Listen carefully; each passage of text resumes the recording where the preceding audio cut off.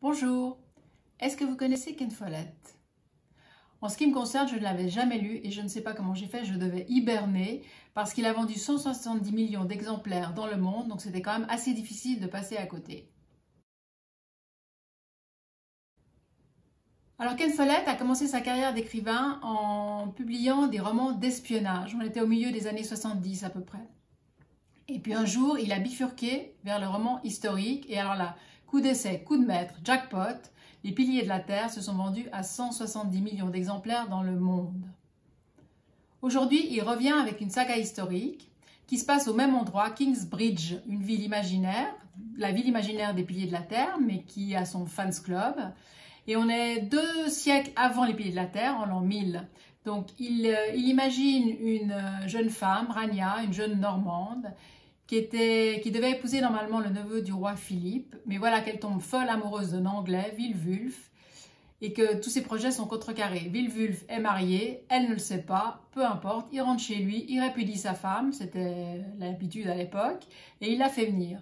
Évidemment, quand elle arrive à Kingsbridge, elle est assez surprise de voir le... Disons qu'ils sont plutôt rustres, ces Anglais-là. Sa famille la hait, ne veut qu'une chose, c'est sa mort.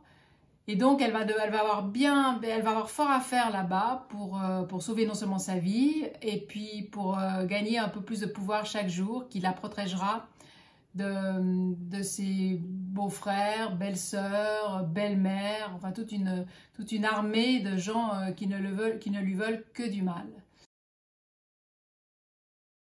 Alors c'est un roman, comme tous les romans de Ken Follett, d'après ce que j'ai compris, qui mélange euh, réalité historique, c'est-à-dire une toile de fond qui est authentique, avec euh, un côté très très romanesque. En tout cas, le livre fait plus de 800 pages. Moi, j'ai commencé, j'étais scotché à mon fauteuil pendant tout le week-end. Ça me rappelait euh, les romans de Jeanne Bourrin que je dévorais quand j'étais adolescente. C'est ce genre de livre, vous, vous mettez un œil dedans et votre week-end est absolument terminé pour tous les gens qui sont autour de vous. Et aussi. Alors ça, c'est aussi un auteur que j'aurais dû découvrir il y a longtemps. C'est une à peu près contemporaine de Jane Austen et des sœurs Bronte. On est dans, dans, cette littérature, vous savez, du, tout petit, du quotidien, de, il ne se passe pas grand-chose, mais, euh, mais on adore ça. Donc, euh, Middlemarch a été réédité par la, vient d'être réédité par la Pléiade, par la collection de la Pléiade. C'est un petit village où il y a des trahisons, des tromperies, des mariages, des amours, des, morts, et, tout ça pendant près de 1000 pages. Et puis pareil, vous commencez, vous ne pouvez plus vous arrêter, vous ne savez pas vraiment pourquoi, peut-être que voilà, euh, c'est ça le talent.